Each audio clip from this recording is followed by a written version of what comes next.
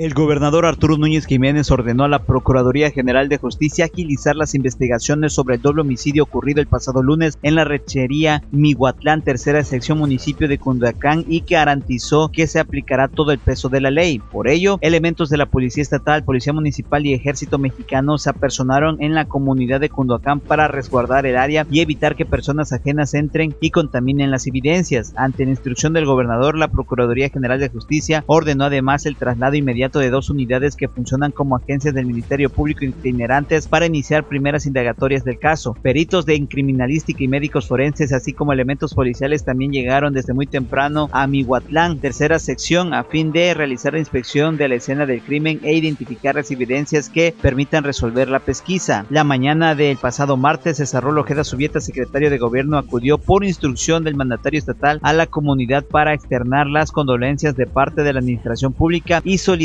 con los deudos y garantizarles que se hará justicia.